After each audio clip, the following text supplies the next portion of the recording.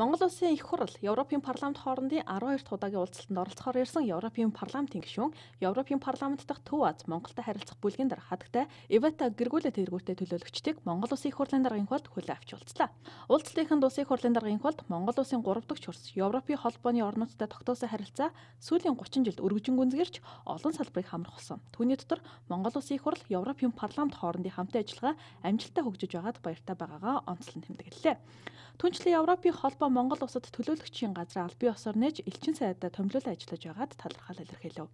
Хоёр талын хамтын ажиллагаанд 2013 онд байгуулсан түншлэл хамтын ажиллагааны хилцээр чухал үүрэг гүйцэтгэж байгааг мөн тэрээр тэмдэглээд Европын парламент хилцээрийг хэрэгжүүлэх чиглэлээр тогтоол баталж улмаар Монгол улсыг дэмжсэн хэд хэдэн төсөл хөтөлбөр хэрэгжүүлж байгаа нь манай улсын хөгжил дэвшилт үнэтэй хувь нэмэр болж байгааг мөн онцолсон юм. Тэрээр Монгол улс Европын холбооны GSP хөтөлбөрт 2005 оноос хамрагдаж 7200 нэр төрлийн бараг галын дотроос чөлөөлөх хөнгөлтийн эрх эдэлж эхэлсэн ч экспортын хэмжээ нэр төрөл сансан хэмжээнд хүрэхгүй байна.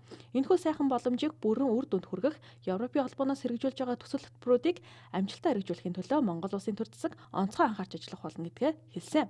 Мөн худалдаа эдийн засгийн салбараас гадна боловсрол соёл аялал жуулчлал хөдөө аж ахуйн зэрэг салбарт хамтын ажиллагаа өрнүүлэх өргөн боломж байгааг мөн тэмдэглэсэн. Түүнчлэн Европын холбооны орнуудад оршин сууж байгаа Монгол иргэдэд визийн нөхцөлийг хөнгөвчлөхөд анхаарал тавьж ажиллахыг хүслээ.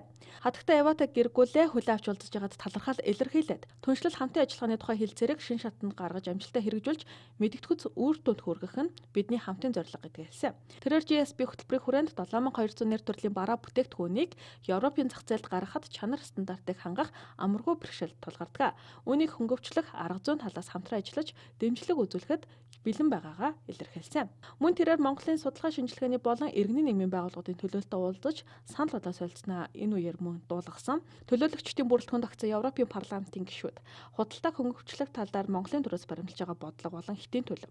Агаар амхирлыг бууруулах чиглэлээр хэрэгжүүлж байгаа арга хэмжээний үр дүн болон хөдөө аж ахуйн салбарын бүтээгдэхүүний экспорт түүний дотор ноолурын экспортын өнөөгийн байдал, бэлчээрийн дороотлоо сэргийлэх талаар авч хэрэгжүүлж байгаа арга хэмжээ болон иргэний нийгмийн байгууллагуудын хөгжил төлөвшил санхүүжилт эрх зүйн орчны талаар асуулт тавьсанд улсын хурлын даргын хулд дэлгэрэнгүй хариулт өгсөн юм.